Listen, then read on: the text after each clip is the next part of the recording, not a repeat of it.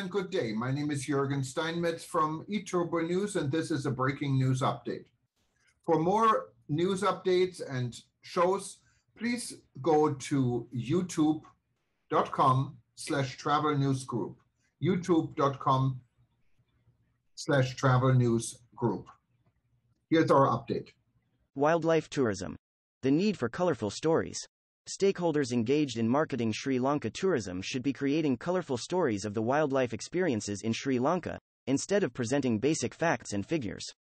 What is needed is to create and tell wildlife stories with a humane touch. When a potential tourist calls a hotel or a travel agency to inquire about the wildlife attractions in Sri Lanka, most often the sales staff just give an itinerary and mentions the animals that could be observed, instead of portraying wildlife in an attractive manner.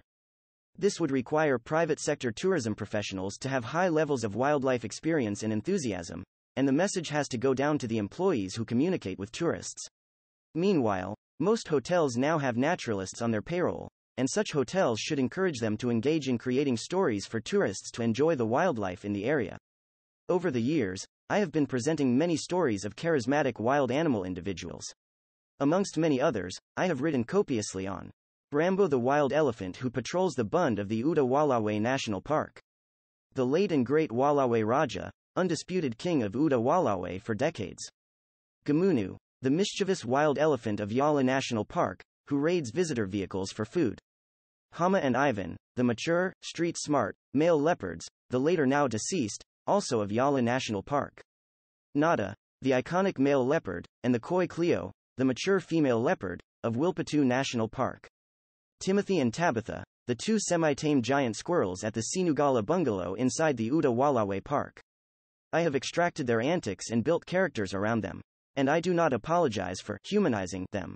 That's what makes it all that more interesting to people.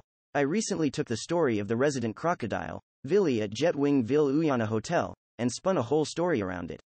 Africa may have their big five animals, but we also have our own big four mammals the blue whale, elephant, leopard, and the sloth bear. Some of my colleagues talk about our Big Five, adding the sperm whale also to this list, but I do not agree on having two of the same species on the list. Sri Lanka has almost 30% of some sort of green cover, over 3,000 plants, and over 1,000 animal species. So we certainly do not have a shortage of good wildlife tourism promotional material.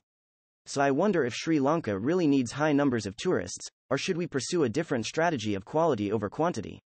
Sri Lanka welcomed 2.3 million tourists in 2018 earning some 4.4 billion United States dollars in revenue.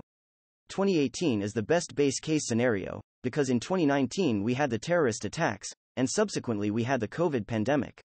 Wildlife tourism is a steadily growing segment in Wikipedia says that wildlife tourism currently employs 22 million people worldwide directly or indirectly and contributes more than $120 billion to the global GDP.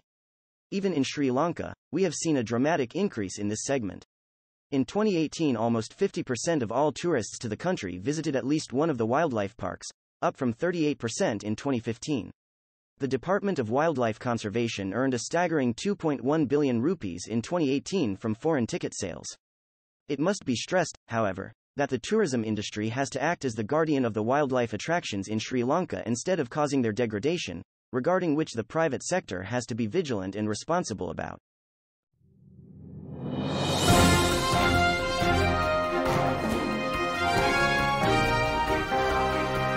Thank you for listening to our news update. There's more on youtube.com slash travel news group, or you can read us, of course, in going to our news portal at eturbonews.com or travelnews.online.